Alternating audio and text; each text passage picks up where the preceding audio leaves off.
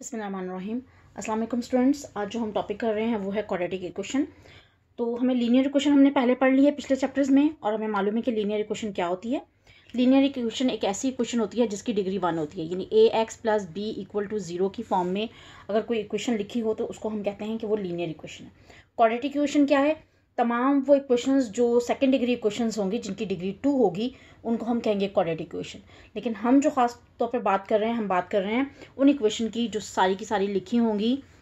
A X square plus B X plus C equal to zero की form में. ठीक है?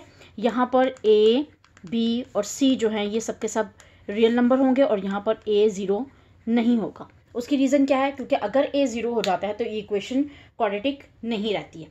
तो ये बन जाएगी लीनियर तो हमें चाहिए क्वाड्रेटिक इक्वेशन इसलिए स्टैंडर्ड फॉर्म ये है।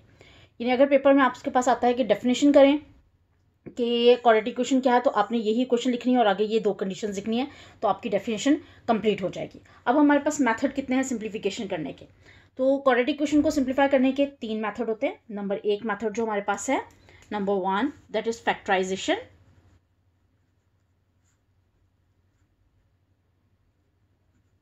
factorization और दूसरा मेथड है हमारे पास कंप्लीटिंग स्क्वायर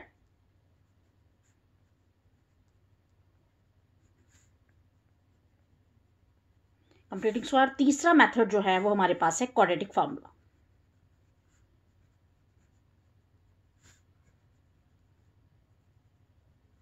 ठीक है, ये तीन मेथड होते हैं जिनसे हम किसी भी क्वाड्रेटिक इक्वेशन को सिंप्लीफाई कर सकते हैं। तो सबसे पहले हम अप्लाई करते हैं फैक्टराइजेशन फैक्टराइजेशन में हम देखते हैं कि रूल क्या होता है। हमारे पास जो स्टैंडर्ड इक्वेशन गिवन है, हर इक्वेशन क्वाड्रेटिक इस स्टैंडर्ड फॉर्म के अंदर गिवन होनी चाहिए। अगर वो स्टैंडर्ड फॉर्म में गिवन नहीं है तो सबसे पहले आप उसे सिंप्लीफाई करके स्टैंडर्ड फॉर्म में लेकर आएँगे। तो जब आप स्टैंडर्ड फॉर्म बना लेंगे इक्वेशन की देन नेक्स्ट स्टेप पर आपने उसको फैक्टराइज करना है। अब देखते हैं हम फैक्टराइजेशन में हमारे पास ये क्वेश्चन है। रूल क्या होता है? रूल आपके पास ये होता है कि आपने ए और सी को मल्टीप्लाई करना होता है। और ए और सी को मल्टीप्लाई करके जो आंसर आता है, उसके आपने मल्टीपल्स लिखने होते हैं। इस तरह से मल्टीपल सेलेक्ट करना होता है कि प्लस माइनस करने पर सेंटर वाली टर्म बननी चाहिए। ठीक है? हम कर रहे हैं एक्सरसाइज यहाँ पर फाइव पॉइंट वन और फाइव पॉइंट वन का क्वेश्चन नंबर वन है हमारे पास। Exercise five point one question number one है find the solution by using factorization method और पहला क्वेश्चन इसमें आपके पास है that x square minus 4x minus 12 is equal to zero ठीक है? ये क्वेश्चन है हमारे पास। अब हम देखते हैं ये स्टैंडर्ड फॉर्म में लिखा हुआ है। हमें इसे स्टैंडर्ड फॉर्म में लाने की ज़रूरत नहीं है। तो सबसे पहले काम हमें क्या करना है? हमें मल्टीप्लाई करना है। यहाँ पर देखें कोफिशियंट क्या है? कुछ नहीं है तो वन है। वन एंड ट्वेल्व मल्टीप्लाई करेंगे तो हमारे पास आंसर आएगा ट्वेल्व इसको हम लिख लेते हैं रफ वक्त में। ठीक है? अब हम देख लेते हैं ट्वेल्व को किस किन नंबर से मल्टीप्लाई करते हैं? तो हमारे पास ट्वेल्व आंसर आता है। तो नंबर एक तो हो जाएगा ट्वेल्व इंटू वन लेकिन ट्वेल्व और वन को माइनस करने पर आंसर माइनस फोर नहीं आता। ठीक है? फिर हम मल्टीप्लाई करते हैं।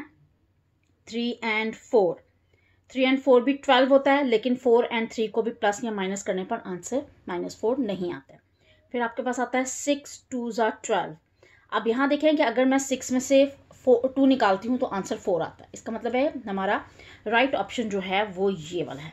ठीक है, हमें इसे सेलेक्ट करना है। अब इसको हम लेकर जाते हैं यहाँ पर और करते हैं पुट आपने करना क्या है? X square as it is लिखेंगे ये माइनस साइन इसी तरीके से नीचे आएगा। फिर आपने जो बड़ा नंबर है, वो हमेशा पहले पुट करना है। तो यानी आपने लगाना है सिक्स और साथ में लगाएँगे एक्स अब चूँकि आपने नेक्स्ट नंबर को माइनस करना है इसमें तो यहाँ पर ऑलरेडी माइनस साइन लगा हुआ है। इसका मतलब है उसके साथ आप क्या लगाएँगे? प्लस साइन लगाएँगे ताकि प्लस माइनस माइनस हो। और दूसरा था हमारे पास टू एक्स और माइनस हो गया ट्वेल्व इक्वल टू ज़ीरो ठीक है, अब ये क्वेश्चन चार में ब्रेक हो गई है। हमने इस माइनस फोर को ब्रेक किया है minus six and plus two में। अब इनसे हम लेते हैं कॉमन फ़र्स्ट टू के टर्म में कॉमन है हमारे पास एक्स और यहाँ से आपके पास आ जाएगा एक्स माइनस सिक्स यहाँ से कॉमन आएगा प्लस टू और यहाँ पर भी आ जाएगा X minus six equal to zero हमेशा यहाँ पर ख्याल रखना है आपने कि दोनों ब्रैकेट्स में बराबर आंसर आने चाहिए। अगर बराबर नहीं आ रहे होंगे, इसका मतलब है आपने फैक्टर्स गलत बनाए तो फिर आपने दोबारा फैक्टराइज करना है।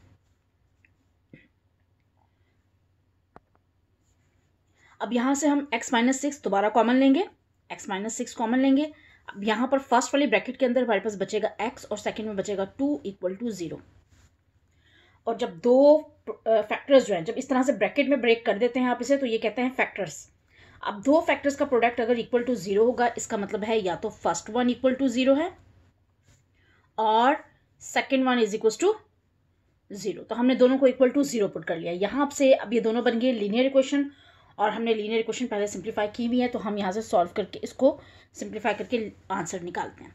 यहाँ से हो जाएगा X is equals to six और यहाँ से हो जाएगा X is equals to minus two ठीक है, ये दो आंसर्स आ गए। किसी भी क्वेश्चन की जितनी डिग्री होती है उतने ही आंसर होते हैं।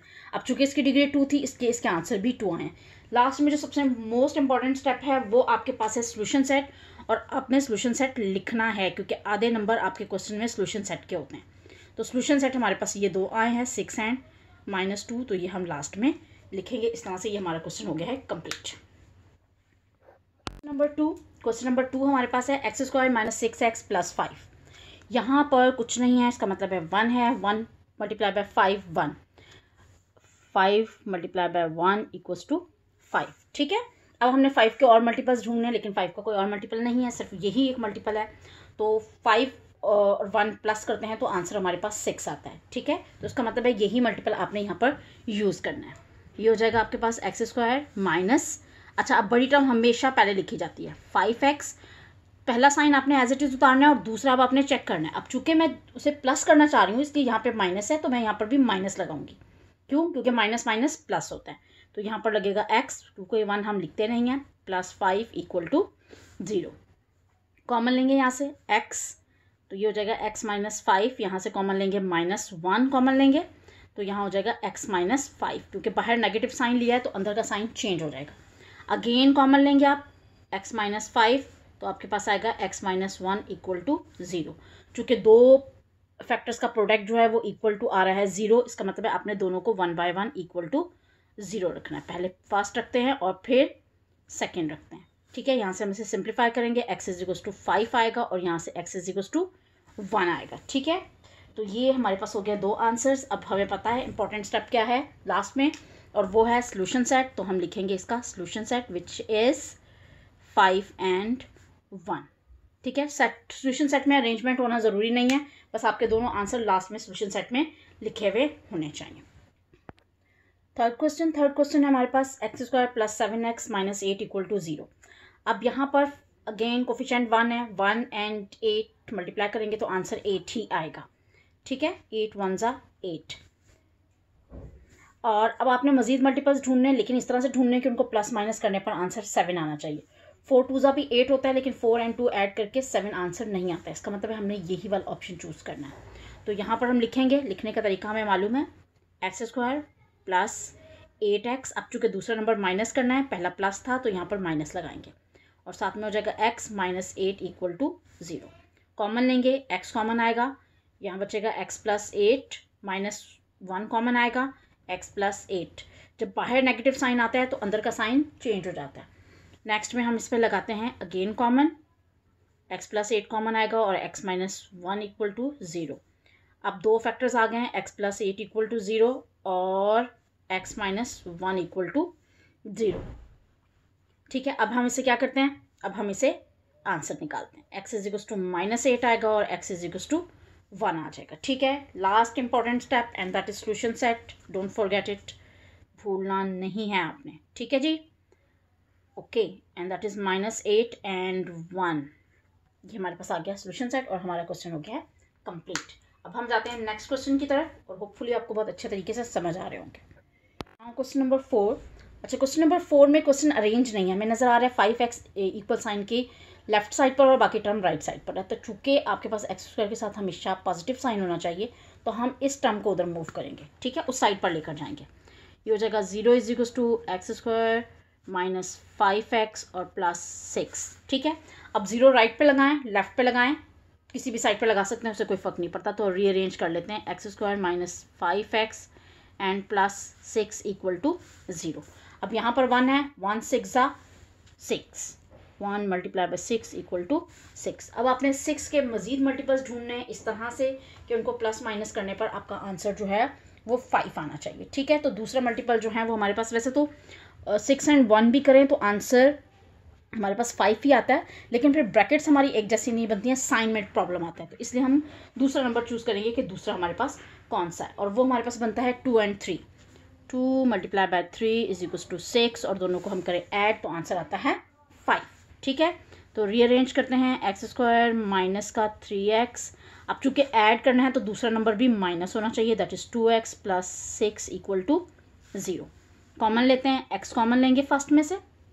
तो हमारे पास बचेगा x minus three minus two common लेंगे तो x minus three equal to zero क्योंकि टू कॉमन लिया है तो टू का टेबल कहाँ तक पढ़ेंगे कि सिक्स आए? थ्री तक। और बताया था मैंने आपको कि अगर बाहर माइनस साइन लगाते हैं तो फिर अंदर वाला साइन चेंज हो जाता है। अब देखेंगे दोनों ब्रैकेट्स जो हैं, वो एक जैसी आ रही हैं आपके पास। अगर इसको सिक्स वन से करते हैं तो फिर दोनों ब्रैकेट एक जैसी नहीं आती। अब इसको हम सिंप्लीफाई करते हैं। X minus three into x minus two equal to zero x minus three equal to zero और x minus two equal to zero. यहाँ से आंसर आता है थ्री और यहाँ से आपके पास आंसर आता है two. Again important step and that is solution set write down your solution set ये आपके पास आ गया है थ्री एंड टू ठीक है? सोल्यूशन सेट हमने लिख दिया यहाँ पर। अच्छा अब हम जाते हैं नेक्स्ट क्वेश्चन की तरफ़। Question number five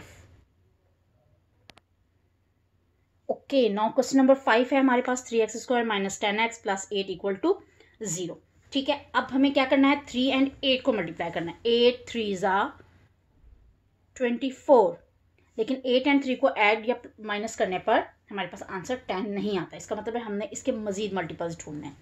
तो ट्वेल्व टू ज़ा भी ट्वेंटी फोर होता है, लेकिन इसके ऑप्शंस ठीक नहीं बनेंगे। मतलब आप मैच करेंगे तो आंसर आपका इक्वल नहीं आएगा। तो फिर आपने चेक करना है और मज़ीद। तो सिक्स फोर ज़ा ट्वेंटी फोर। ठीक है? तो इसे अगर हम करते हैं दोनों को माइनस प्लस करेंगे तो आंसर टेन के इक्वल आता है। ठीक है? तो हम इसे ब्रेक करते हैं। और ब्रेक कैसे करेंगे? Three x square minus six x, वही टर्म हमेशा पहले लगाते हैं। अब चूँकि दोनों ऐड करना है, पहला वाला माइनस साइन है तो दूसरा भी माइनस ही होगा। Four x plus eight equal to zero. Common लेंगे थ्री एक्स तो यहाँ पर आ जाएगा आपके पास एक्स माइनस टू। यहाँ पर कॉमन लेंगे माइनस फोर तो ये आ जाएगा एक्स माइनस टू और इक्वल टू ज़ीरो ठीक है? फोर कॉमन लिया माइनस साइन कॉमन लिया तो डेफिनेटली अंदर वाला साइन यानी नेक्स्ट साइन जो है वो चेंज होगा। फोर का टेबल कहाँ तक पढ़ेंगे? कि एट आए तो दैट इज़ टू दोनों ब्रैकेट सेम आ गई हैं। दोबारा कॉमन लेंगे x minus two into three x minus four equal to zero x minus two equal to zero और three x minus four equal to zero okay यहाँ से value निकालेंगे आप। ये हो जाएगा x is equals to two और यहाँ से आ जाएगा x is equals to four पहले इधर जाएगा पॉजिटिव हो जाएगा तो फोर डिवाइड में आ जाएगा। डिवाइड हो जाएगा, ये दोनों आंसर आ गए। लास्ट में आपने लिखना है सोल्यूशन सेट और सोल्यूशन सेट जो है वो हमारे पास आएगा two and four upon three ठीक है? इस तरह से हमारे पास क्वेश्चन नंबर फाइव भी डन हो गया।